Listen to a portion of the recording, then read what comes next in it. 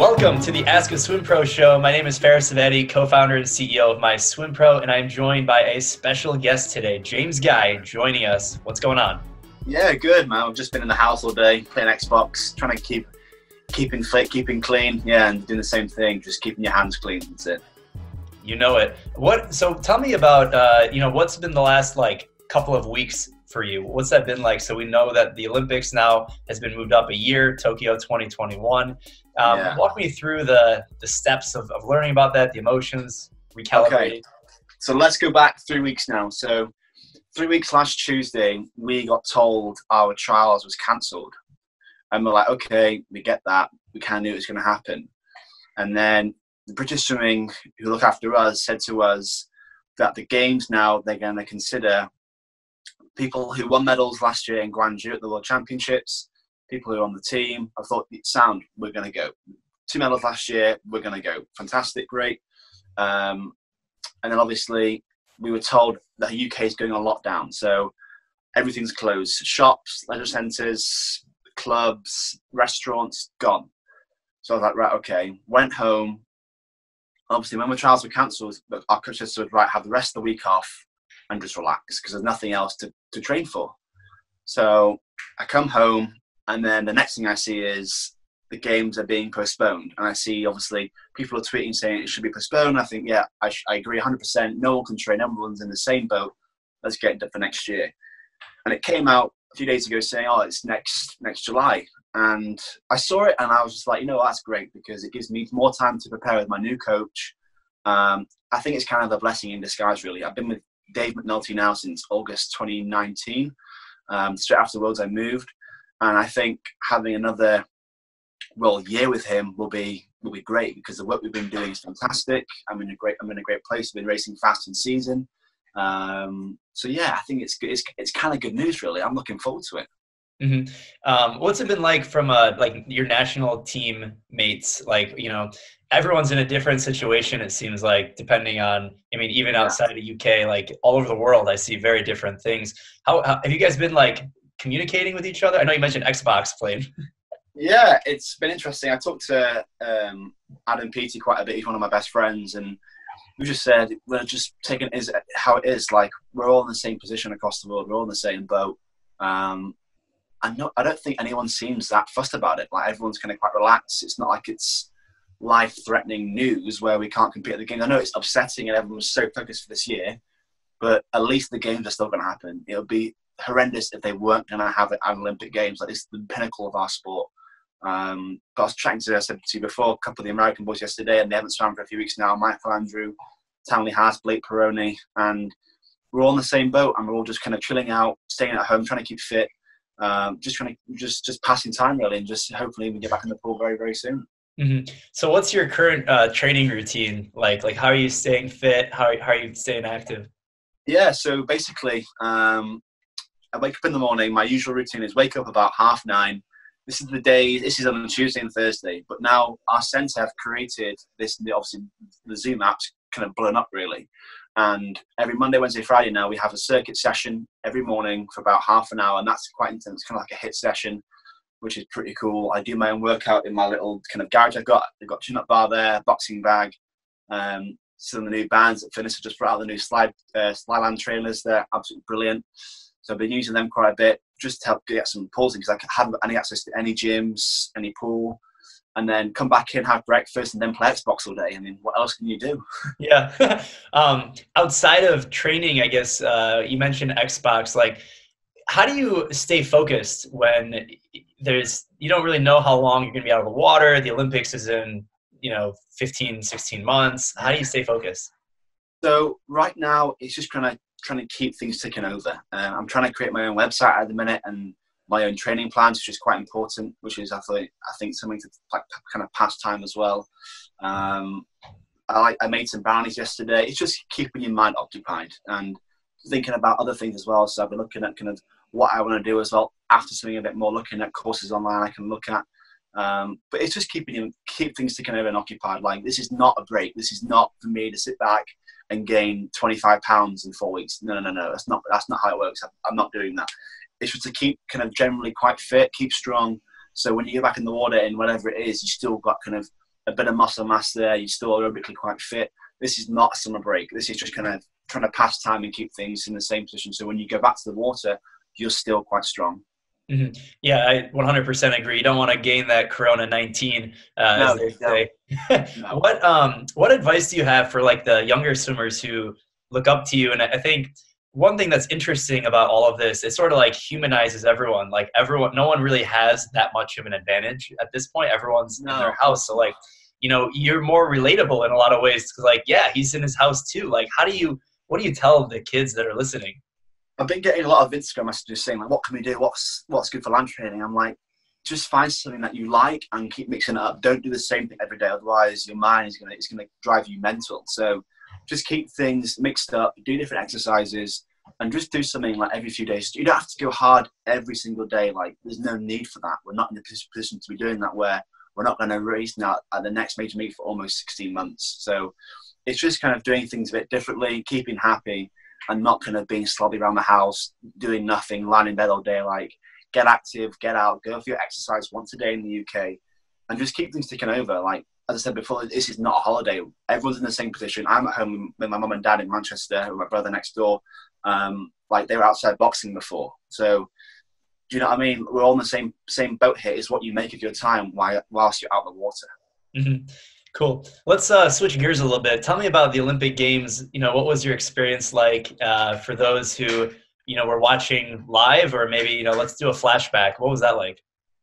Okay, so going back, wow, four years. I was 20 years old, and obviously winning the World Championships the year before in the 200 free. I was kind of one of the heavy favourites to win the 200 free at the games. Um, but one thing I learned that year is that everyone steps up so much more. It's, it's just one thing that hadn't quite hit me.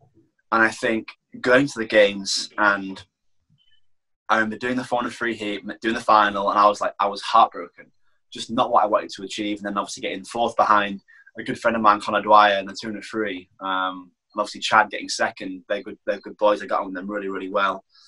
It was an amazing experience. And to race the fastest and, well, the greatest of all time, Michael Phelps in the relay, it's uh, like watching this guy your whole career. It's like boxing Muhammad Ali so to do that, and that's the comparison I think it is because it's just racing and like fighting the best. So, but what an experience! Just the whole environment, the games, the games village. But I heard Bob Bowman say a while ago, it's a normal swim meet just with loads of media around it, and that's all it is. Like it's nothing, anything different. You've got your own lane. It's a normal competition. You rest, you're shaved, and you want a PB. And one thing I didn't do at the games was that all I thought about was medals, medals, medals, medals, and that's not the right thing to do think about the, as they say, the process, and the medals will come to you. Think about how you're going to swim the race, stick to your tactics, and that'll come to you. Mm-hmm. One hundred percent. When it comes to competing internationally, like what are some of the most fond memories you have? It could be Olympics or any other competition. Okay, so I remember I've got three memories that I I really live, I, I really love. Obviously, the, first, the main one is this isn't like no any order. So obviously winning the World Championship 2015, beating beating Sun Yang on the 200 freestyle. I think he's never been beaten. I think three or four times, and that's myself, because Kosuke Hagino and Mack Horton. I think like on the 200 and 400 free. So one of them yeah. pretty special. Um, the next one is Budapest 2017. I what did we do? One day was the 4x2 freestyle relay and the 100 fly semi final. And I did the 100 fly, went 50.6, like the sixth fastest time ever, which is like obviously I'm only a renowned for a freestyle swimmer, so to do that was great. Then half an hour later was to go 143 in the relay. I was like, I, I saw my time, I thought that's not right. That's that's going to be a mistake. and found out I turned out I turned 49.8 to feet, which is unbelievable. And the last thing was obviously last year.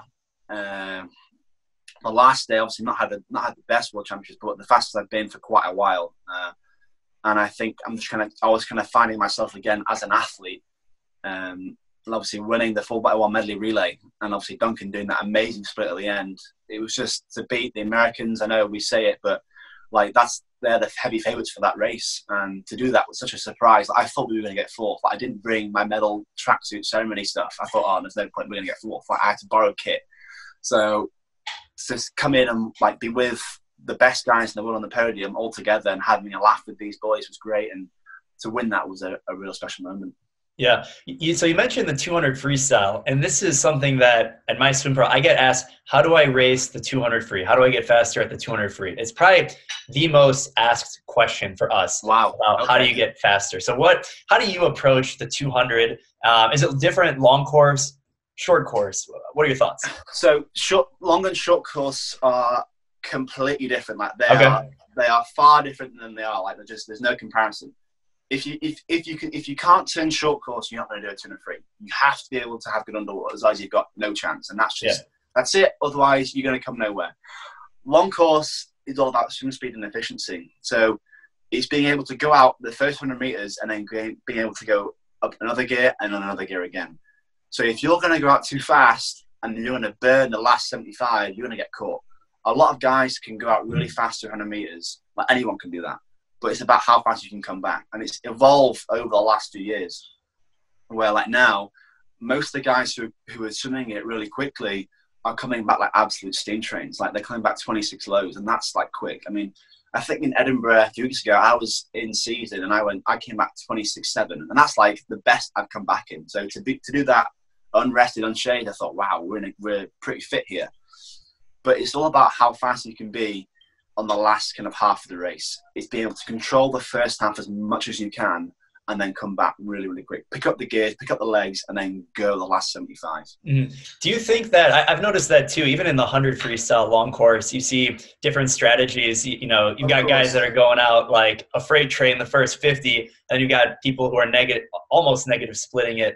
Um, do you think that's because you're laying off the legs or it's a tempo thing, a breathing thing? Like, how do you, how do you approach being able to come back like a freight train? I think it's just being able to control that first half of the race. You've got a mindset of before you dive in, and you're thinking about right. This is what I'm going to do. This is this is the plan. This is what I've trained for. You do 100 frees or 3100s free in training every single day. Like, is the way you've done it for the past year. Don't change it. And I think it, it's a, a, number of things. It's your tempo, your leg kick. If you kick too hard the first half, you're not going to have the legs for the second half. It's as simple as that. But the best ideas are always kept simple. And the guys who come back fast aren't, aren't going to be out there that fast the first 50. Like, for example, a good friend of mine, Kyle Chalmers, he's not always the first to 50, but you know he's going to have the fastest back half of the race every single time. You look at his legs, the second half of the race, they're going like absolutely clappers. Like, it's great to watch. Um, but no, it's something you've got to practice and learn how you can swim the race. Like for me, for my 100 fly, I know that I have to be out comfortably, but I know that I have the, I have the back end and, and endurance when I'm t- rested and shaved down. Because obviously, all the 400 free work years ago, I have that back end speed now. So if I'm out there 24 low, 23 high, comfortably at 50, then can come back 26 mid, 26 high. That's a good 50 point low for me. So it's interesting how you do it. Yeah, tell me about the the, the 50 point barrier in the 100 butterfly. I'm sure that's something that you know you're, you're looking at how, t- walk me through what your mindset is. Um i mean ever since we've been coaches i've been doing a lot more aerobic butterfly. So just like we've been doing threshold 100 fly i think we, we did a set in australia and it's just kind of being able to repeat just effortlessly movements of just hundreds butterfly off 140 at threshold and it just gets you really really fit so you know at the back half of the race you've got that. But for the 100 butterfly you know, obviously Dressel's broke the 50 point, and to get near that would be unbelievable. Um, but it's just kind of finding the way you submit right. And for me, you have to have that perfect race where you don't go out too hard, you don't use the legs too much, and you have you can finish strong. Like the guys, I said as I said before, a lot of guys can go out fast, but not everyone can come back fast. And that's one thing that Phelps got exactly right every single time. He knew Cavic was going to take out like an absolute rocket the first half of the race. But you know what? I'll let you take it out, and I'll watch you do it get to halfway, I'm going to come back and hunt you down. And that's what he did every single time. So you have to find a way you can do it the best. And I've, I think when I hit my personal best time, I would come back so fast. And that's the way I think I have to swim. That's, that's what works for me. If I go out too fast, I'm just going to die. Where people can hold on, and I just can't do that. Mm-hmm. Yeah. Um, final topic here. Let's talk about the evolution of the sport of swimming. So, you know, a lot has changed. We're similar age. Like I remember when I was a kid growing up, like swimming and watching swimming. From a professional level, it's a lot different. People are obviously swimming faster. There's more happening on the like sponsorship side. I know you, you're with Finis. Can you tell yeah. me about how you've seen the sport evolve over the last 10 to 15 years and where you think it's going to be going in the future. Yeah, of course. I think, well, obviously, I've been going proper since 2007. So I qualified for my first nationals there. And I had like the old school, like the leg skin jammers and the bodysuits and that. Yeah.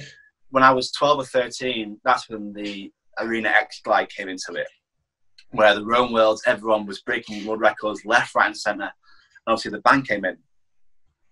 And then it kind of changed dramatically from 2010 right through to now. And it went from a period where the 2011 Worlds was really, really fast. The 203 there was probably the fastest it's been, and probably has been for a long, long time in like the textile suits. But as it's evolved, the racing's evolved as well. So I found in my events, especially the 400 free, a lot of guys from 1500 have dropped that and they've come down to the 400 now, where these guys are coming back so fast. Where before your Ian Thorpes, your Van den Hoogenbands, and he was a specialized 200 and 100 freestyler, where Thorpe was like, he would never go past the 800. Where, mm.